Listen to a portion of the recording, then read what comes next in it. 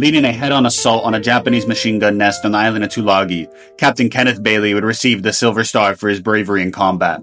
And leading a company of Marines of part of the 1st Marine Raider Battalion, Captain Bailey would lead his men through the Guadalcanal campaign. From September 12th through the 14th, Captain Bailey led his men during the Battle of Edson's Ridge, which penetrated American-held lines around Henderson Airfield. Bailey's men held the line for the retreating Marines, and disregarding his serious head wound, Captain Bailey led his men for 10 plus hours of constant brutal hand-to-hand combat.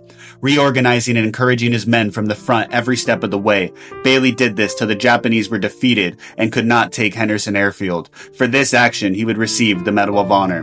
While leading another daring charge against enemy-held positions along the Matanikau River on Guadalcanal, Captain Bailey would be felled by a machine gun burst on September 26, 1942. Now Major Kenneth Bailey, he would be awarded the Medal of Honor posthumously.